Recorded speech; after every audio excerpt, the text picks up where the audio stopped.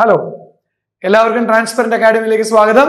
ഞാൻ ശിവകുമാർ നിങ്ങളുടെ accounting faculty നമ്മൾ കഴിഞ്ഞ ക്ലാസ്സിൽ റെസീറ്റ്സ് ആൻഡ് പേയ്മെന്റ്സ് അക്കൗണ്ടിൽ നിന്ന് എങ്ങനെ income and expenditure account prepare ചെയ്യാം? റെസീറ്റ്സ് ആൻഡ് പേയ്മെന്റ്സ് അക്കൗണ്ടിലെ ഏതൊക്കെ ഐറ്റം ഇൻകം ആൻഡ് എക്സ്പെൻഡിച്ചർ അക്കൗണ്ടിൽ എടുക്കും എന്ന് പഠിച്ചു. ഇന്ന് നമ്മൾ ഡിസ്കസ് ചെയ്യാൻ പോകുന്നത് റെസീറ്റ്സ് ആൻഡ് പേയ്മെന്റ്സ് അക്കൗണ്ടിൽ നിന്നൊരു ഐറ്റം ഇൻകം ആൻഡ് എക്സ്പെൻഡിച്ചർ അക്കൗണ്ടിലേക്ക് എടുക്കുമ്പോൾ എമൗണ്ടിൽ എന്ത് ചേഞ്ച് വരുത്തണം ഇതാണ് പഠിക്കാൻ പോകുന്നത് so how to calculate the amount of items to be taken to income and expenditure account from the receipts and payments account നമ്മൾ പറഞ്ഞു receipts and payments account will record actual receipts and actual payments of cash during the year. and those receipts and payments may relate to previous year, current year, or coming years.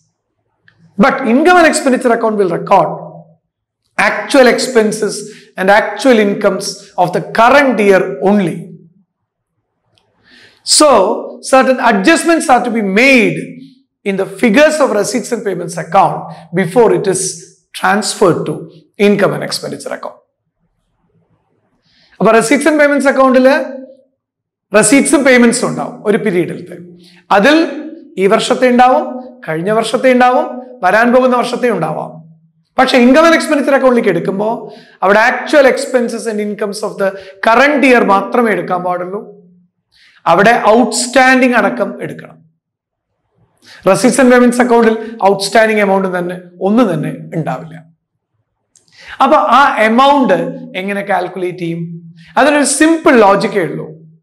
Receipts and payments അക്കൗണ്ടിൽ നിന്ന് income and expenditure അക്കൗണ്ടിലേക്ക് പോകുമ്പോൾ ഈ വർഷത്തെ അല്ലാത്തതൊക്കെ അതായത് ഏത് വർഷത്തെ current year അല്ലാത്തതൊക്കെ നമ്മൾ ഒഴിവാക്കുക. നമ്മൾ ഏത് വർഷമാണോ പ്രിപ്പയർ ചെയ്യുന്നത് ആ വർഷത്തെ അല്ലാത്തതൊക്കെ ഒഴിവാക്കുക. കറണ്ട് ഇയറിൽ എടുക്കുക. കറണ്ട് ഇയറിൽ ഫുൾ ആയിട്ട് എടുക്കുക. ഇത് ഓർത്ത് വെച്ചാൽ മതി.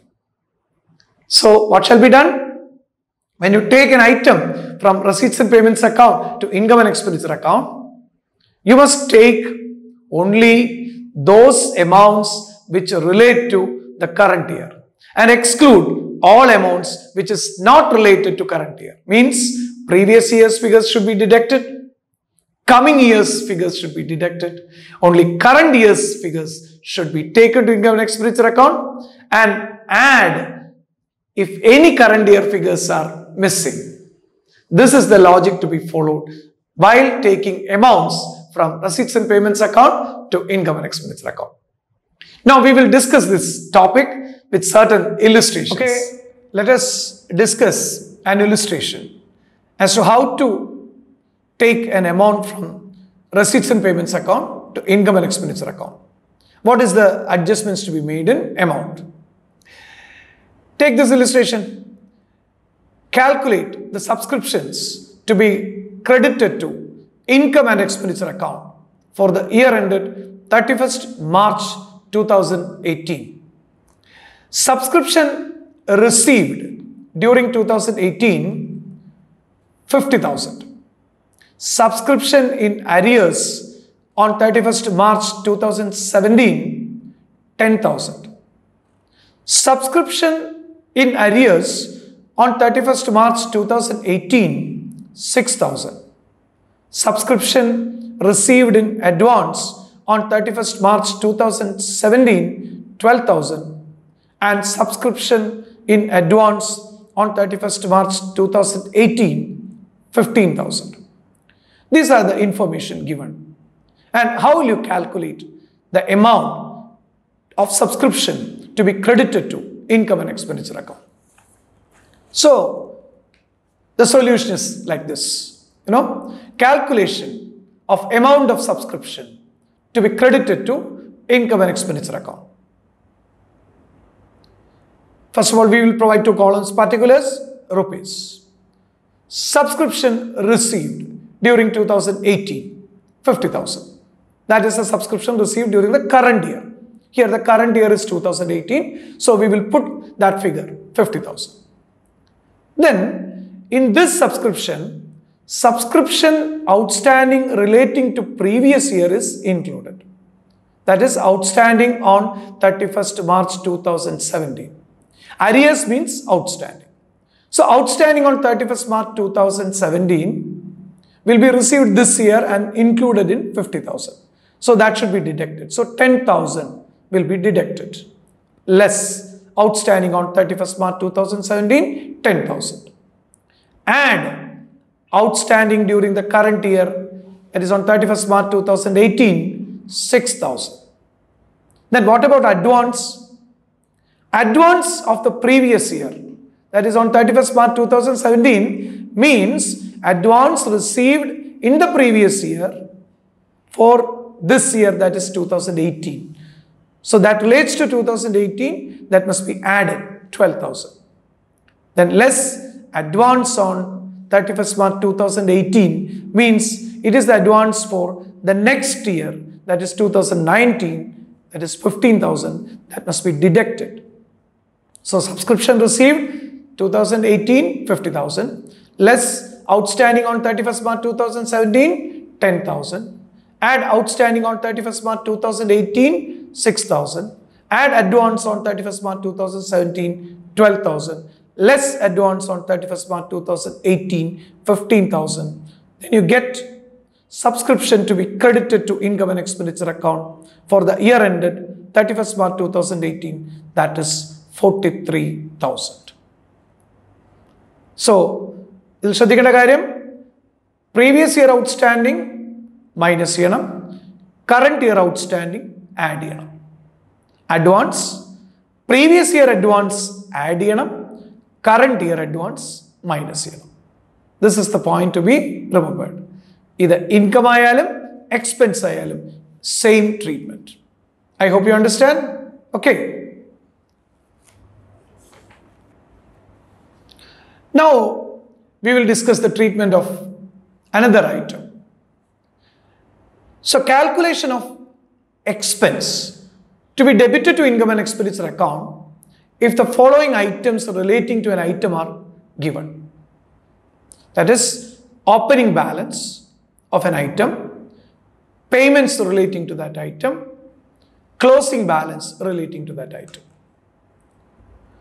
So you have to calculate the expenditure as opening balance and payments less closing.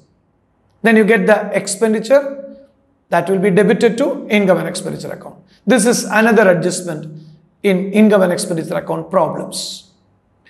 You see, an example. Take this illustration. Find out the value of stationery consumed during 2018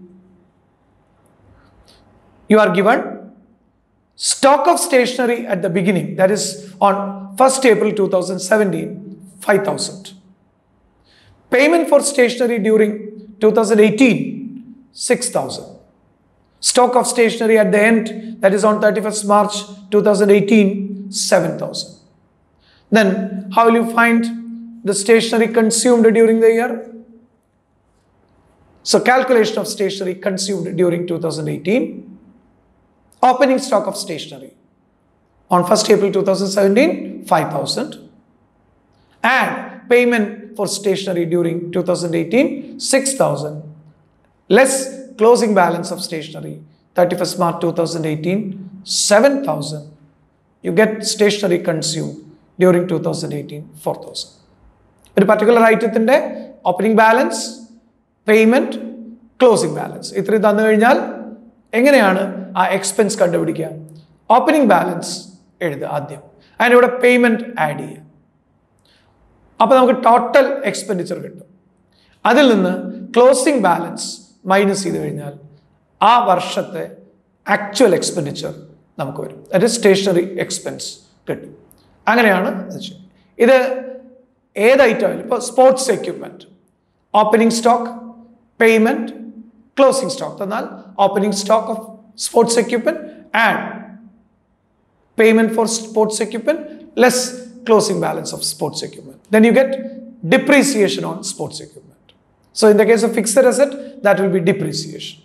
This is how the expenditure is calculated.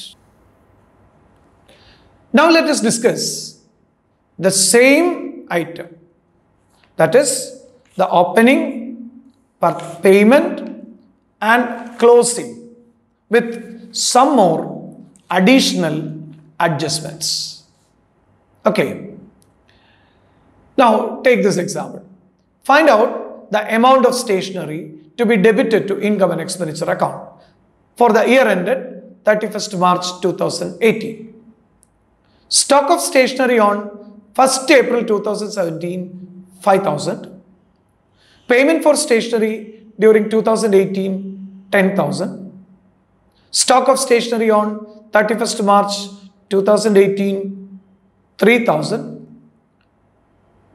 Creditors for stationery on 1st April 2017 5000. Creditors for stationery on 31st March 2018 6000. Advance for stationery on 1st April 2017 5000. Advance for stationery on 31st March 2018 3000. Now, how will you solve this problem? How will you calculate the stationery consumed during 2018? First of all, as usual, stock of stationery at the beginning 5000. Add payment for stationery during the year 10,000. Less stock of stationery at the end 3000. You get stationery consumed as we have done in the previous problem. Then additional information. What are the additional information given? Creditors for stationery at the beginning, creditors for the stationery at the end. Creditors means nothing but outstanding. So, outstanding stationery at the beginning, less. Outstanding stationery at the end, add. So, less creditors for stationery, 5000. Add creditors for stationery at the end, 6000. Then, what about advance? Add advance for stationery at the beginning, 5000. Less advance for stationery at the end, 3000. Then you get stationery expense to be debited to income and expenditure account. That is 15,000. This is how we will calculate the expenditure with additional items. Opening stock of stationery, payment for stationery, closing stock of stationery തന്നാൽ നമ്മൾ opening add payment less closing എഴുതും അതിന്റെ കൂടെ creditors for സ്റ്റേഷനറിയുടെ opening closing അഡ്വാൻസിന്റെ opening closing തന്നാൽ നമ്മൾ എന്ത് ചെയ്യും ക്രെഡിറ്റേഴ്സ് creditors പറഞ്ഞാൽ ഔട്ട്സ്റ്റാൻഡിംഗ് അപ്പോൾ opening outstanding less closing outstanding add opening advance add closing advance less അപ്പോൾ നമുക്ക് എക്സ്പെൻസ് കിട്ടും. ഈ അഡ്ജസ്റ്റ്മെന്റ് എല്ലാ എക്സ്പെൻഡിച്ചറിനും അപ്ലിക്കബിൾ ആണ്. I hope you have understood what are the changes to be made in the amounts of receipts and payments account before it is taken to income and expenditure account receipts and payments അക്കൗണ്ടിൽ നിന്ന് ഒരൈറ്റം income and expenditure അക്കൗണ്ടിലേക്ക് എടുക്കുമ്പോൾ എന്തൊക്കെ മാറ്റങ്ങൾ വരുത്തണം എന്നുള്ള adjustments ആണ് നമ്മൾ പഠിച്ചത്. All these adjustments are usually asked in examination questions now in the next video we will discuss a full problem that is the preparation of income and expenditure account from receipts and payments account in that problem we will discuss all these aspects in detail. Okay, see you. Bye.